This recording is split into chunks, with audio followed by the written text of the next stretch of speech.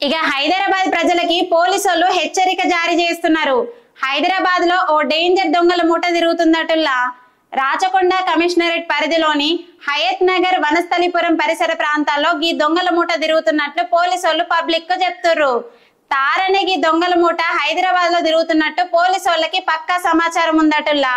ఉత్తరప్రదేశ్ రాష్ట్రానికి చెందిన ఈ దొంగలు ఐదు నుంచి పది మంది దాకా ఒక గుంపుగా ఉండి దొంగతనాలు చేస్తురట. నగర శివార్లలో లాడ్జీలలో ఉండి పగటిపూట షేరింగ్ ఆటోలలో తిరుగుతూ అన్ని గమనించుకుంటారట. ఇక రాత్రి టైంలో గోడలు దుంకి ఇంటి డోర్ కొడతారు. డోర్ తెరవంగానే గా ఇంట్లో ఉన్నోళ్ళని కొట్టి ఎదురు తిరిగితే వాళ్ళని చంపి కూడా ఇంట్లో ఉన్న బంగారం విలువైన వస్తువులను దోచుకోబోతురట. కాబట్టి ప్రజలు జర భద్రంగా ఉండుర్రి.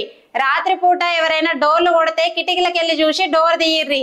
మీకేమైనా డౌట్ కొడితే వెంటనే వందకి డయల్ చేయర్రి. గట్లనే పగటిపూట మీ బస్తీలల్లా కొత్త వాళ్ళు ఎవరైనా అనుమానాస్పదంగా తిరుగుతుంటే పోలీసు వాళ్ళకి ఇన్ఫర్మేషన్ ఇయ్యర్రి. ఇక ఈ దొంగలు మస్తు డేంజర్ ఉన్నారటుల్లా. జర పైలంగా ఉండుర్రి